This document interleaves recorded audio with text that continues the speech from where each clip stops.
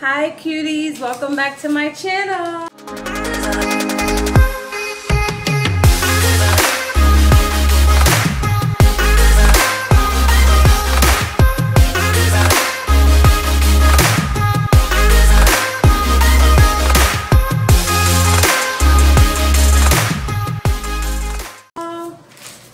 How has your week been? Please let me know right in the comments below. So this week I'm giving an update on my nail tech school experience and I must say I have learned so much how to do nail art, how to do nail enhancements, nail overlays, and now we're moving toward the end of the curriculum where we are discussing different business styles and how to actually follow through with what you want your business to look, be, and feel like. The top five practical skills that nail techs should possess. And this is solely my opinion, as you know, I have not been in the, the field of nail um, technician, as a nail technician at all. So this is just like my, my honest assessment, my opinion of um, the skills I want to possess personally and skills that I think others might find useful. So the first practical skill I think is important for being a nail tech is having product knowledge. I say product knowledge is important because you want to build a clientele, right? And when you have products and you want to sell it, you have to know the product's uses, its features, how it'll help that client enhance their own at-home services, and how it can support the client's nail health in the long run. And I also say this because there are products that are different. Some are super expensive, some are not expensive at all, and some are probably not even recommended for usage, right? So when you know what products you have, and first of all, the expense and how much it costs, you may not use that expensive product on everybody, right? So knowing that you have purchased expensive products and the least expensive products. Depending on how you use those products, you can kind of like customize your clientele. Which leads me to point two of why product knowledge is important. Depending on the product you use on a person can determine how much they pay for services, right? So if you have a client who prefers top of the line products, top of the line services, you know this client is going to spend more money than the client who doesn't want to spend that much on top of the line products. So when you have two different groups of people, some who are willing to spend the money and some who don't, then you have those in between people who only spend money on special events. You can kind of like customize your clientele. You can have your like high-end purchases and your low-end purchases. I'm sure this is like a business concept somewhere, but just further assessing for myself, knowing that I'm just getting into this and I haven't spent any money nor done any service on anyone, I'm thinking of this as well because I'm thinking like if I spend a lot of money on a name brand product, I'm gonna want people who prefer name brands on their nails to spend that money, right? So product knowledge is important because one, you can customize your clientele, and two, this leads me to my next point, you can increase your sales, meaning you can make money, way more money. So point two, second from product knowledge, is that you can schedule your appointments accordingly, right? So scheduling appointments is important because this is what helps you monitor your transactions and monitor your earned income. If you're scheduling your appointments with people who don't want to spend money and may take up a lot of your time, this is um, this can be an issue because it can reduce your ability to earn the amount of money or the goal you may have set for the day or the week. So scheduling is super important because it allows you to fit people in accordingly. If you have that customized group of clients who like to spend money every week or every two weeks, you'll know who to prioritize, right? And I say this is super important because aside from just scheduling, you want to make sure you're not always booked, but meet your individual goals you may have set for yourself. So your customized clientele can be fit into your free time according to the things they would like done on themselves, whether it's a nail enhancement, whether it's a soak off, whatever nail technician service that they prefer, you may be the individual they request. Right? So if you have a high end client who prefers you to do their nails, who are you going to schedule and who are you going to take first? Do you give priority to the high end clients or would you give priority to your low end spenders who come back faithfully? Right? So scheduling is important because it'll help you determine how much money you will be able to earn. Write in the comments if you have a preference on how you schedule your free time for clients. Do you try and book 10 clients a day or try to set a goal of doing like 50 clients a week? Or is it not up to you? How is your client scheduled and booked? So scheduling appointments is important also because it allows you to monitor your monetary transactions. So if you have your schedule set for the week, you can kind of estimate the amount of money you will spend and in line which products, whether high-end products or low-end products that you are going to use. So it kind of all aligns together, in my opinion. This is my opinion because I haven't started yet, but I'm thinking about these things before I actually get in the field and know the demand for these services, right? So I, as a person who's going to become a nail tech, I'll think of the products that I want to use and make sure I'm knowledgeable about them.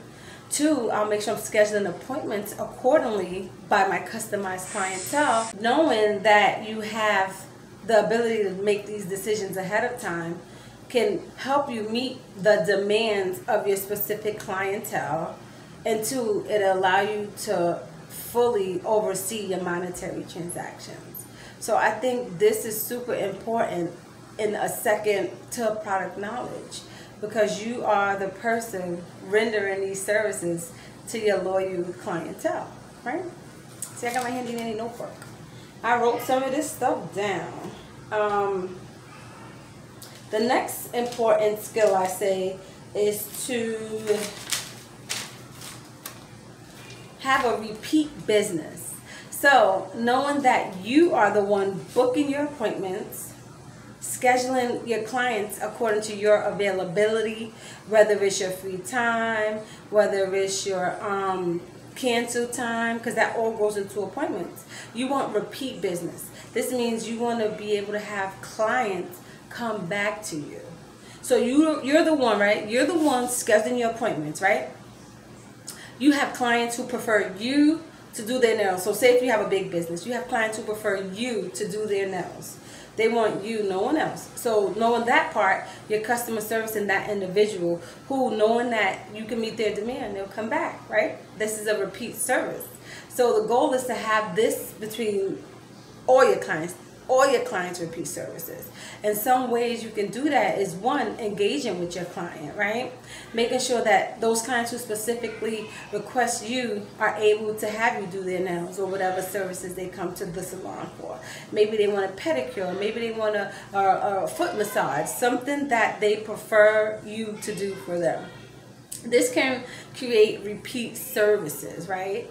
And also knowing that much, you can create a loyalty program like a loyalty program where you have a point system or a two for one. You spend this amount of service, you get this free hand cream, you get these free press on nails. Come back next week and you'll be able to get a free eyebrow with with uh, a massage. Some type of loyalty program to show that client, customer, client that you appreciate them. You can give away free things. You can give them things that they may have seen or asked about, whether it's a specific polish or maybe some type of back rub, who knows, right? So what have you done to show your customers who are loyal to you that you appreciate them? Write in the comments some ideas, some suggestions you could recommend. Because these are just flowing off the top of my head and I did write some down but um, yeah, and you can make sure like your personalized services are customized to this client so they feel special, you know, so they can feel like I go to this salon, and in turn, the more they brag about it, um, they can help increase your business by getting you more customers. They'll tell people how how well your services are, how great you do nails, and how pleasant you are to speak with, be around. Sometimes these small practical skills can definitely enhance your services and make people appreciate it. So for starters, we discussed product knowledge, right? Scheduling appointments, which is important, repeat business, and lastly, and most importantly, customer service Customer service your clientele to continuously have them come back and tell others about it. So for me, I was thinking about these things because I'm not yet there, and I was thinking about the the experiences I had when trying to get my nails done or doing nails, and I've seen experiences that nail techs have had. Even people who, who I tell, oh, I'm gonna do nails, I'm gonna be a, a nail tech and one response I got was, "You sure you want to do that? You want to deal with people's attitudes?" And I looked like, "Is it only attitudes?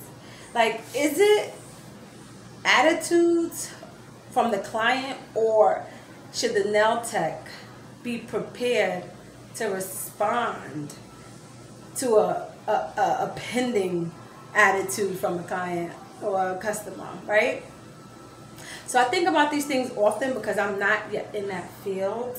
And um, I do plan on entering it. You know, it's not going to be like right away, but these thoughts do like cross my mind to make sure that I'm mentally preparing to enter a whole new field.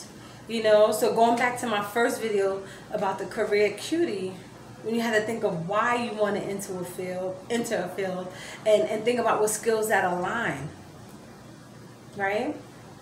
So if you don't have the skills that align, you can see what skills are required before you get into the field.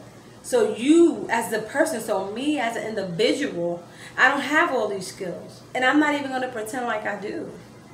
However, my preparation is up to me. I have to prepare. No one's going to make me prepare yeah, I'm doing Zoom online for my schooling, but I'm still not that great at acrylic. I'm still not that great at shaping. So should I sit around and practice on my own? How many hours can I do it on myself? Not that many. So I'm gonna go find more training. That's just my preference. It's nothing to take away from my experience or what I'm learning because I'm learning amazing stuff. I'm learning amazing information and I'm learning new skills. But to hone those skills in my off time, to practice it in my off time, yes, I have the, the ability and, and the goal to be better. So I have to do better. And it costs to do better, right? Like, these are the differences. It's like, oh, I'm not that great, so I'm going to give up. Uh, I'm over it. No, I can't. I know I'm not that great at it. So I have to practice and be patient. And these are the skills that I have to think of. My old way of getting things done don't work. So should I be mad at myself? Do you get mad at yourself? Like, when is your cutoff point to be like, this isn't for me, but you like it and enjoy it? Please write in the comments, how long does it take you to give up on something? Certain things you don't have to give up on. You can probably put a pause on them and revisit them later because sometimes the time isn't right. So for me, I know the time is good now, but it's not going to happen overnight and I have to be patient with myself. Every time I practice on my mannequin hand, every time the acrylic doesn't work out well, I have to think about ways to be patient and revisit it. So these are things I'm practicing and thinking of as practical skills before I enter this um, this field. And I kind of feel like I'm in it a little bit, you know, because I do have a set schedule where I take my time to sit down and prep the mannequin hand. Reach out to people to say, hey, can I try and do a nail set on you? So, like, my mind is already made up that I'm going to do this. And regardless of how long it takes, it'll get done. It may be a side hustle at first because I'm not jumping in full throttle. I have other skills I can utilize with other people. So this will be like my beginning side hustle before I'm able to fully be like, oh, I got this down pat. You know, But it'll take a couple of years, a few years to feel so confident in it. You know, I'm kind of confident now, but not exceptional. Like, no, I got, I got, I, I can be patient with where I'm at. you know, how long did it take you to um, feel confident enough to continuously do nails full time? So for me, I know I want to do other stuff and then nails as like not on the side, but like build up my skill set over time. Because I know sitting there all day, my back wouldn't deal with it. I got to think of things that I can do while doing nails, you know, because I know I know my level of patience at this point. Knowing yourself is important. Like at this point, I know my patience isn't there. So this is what I'm saying. So, so yes those were my few tips. Product knowledge, scheduling appointments. Uh, what was the third one was?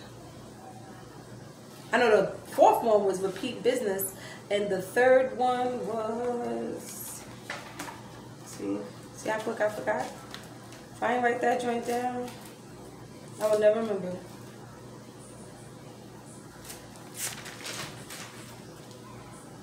It was only three. Hmm.